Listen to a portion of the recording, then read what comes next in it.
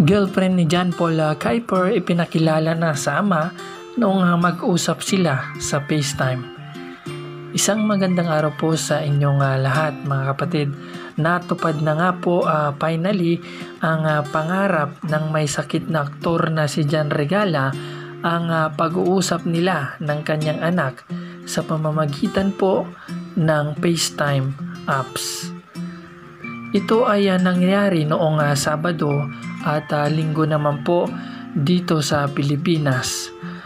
Ang uh, 25 years old na ngayon na si Kuiper ay uh, kasama ng kanyang ina, ang uh, ex-wife ni John Regala na si Aurina Manansala Han, kasama ang asawa na si Stephen Hunt na nakatira ngayon sa Arizona, USA. Matatandaan po natin na limang taong gulang pa lamang po si Kuiper nang huling magkita ang mag-ama.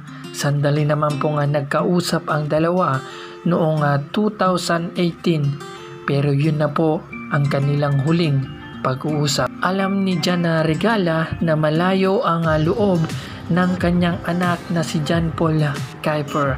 Pero sa tulong po ng ah, social media ay uh, muling nakapag-usap at nagkita through FaceTime. Samantala, lagi na mga tumatawag ang kanyang dating asawa para ibus ang kanyang moral, para palakasin ang kanyang loob sa panahong uh, meron po siyang sakit.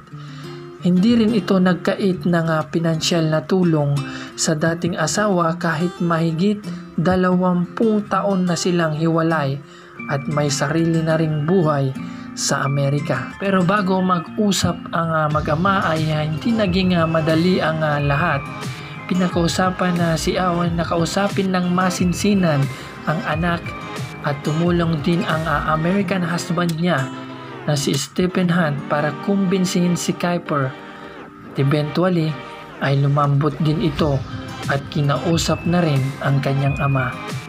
Kasama pa ni Kuiper ang kanyang nakabalikang American girlfriend na si Ursula Hostin nang mag-FaceTime sila ng aktor. At syempre, natural na sorpresa si Jan Regala at hindi nito napigilan ang maging emotional.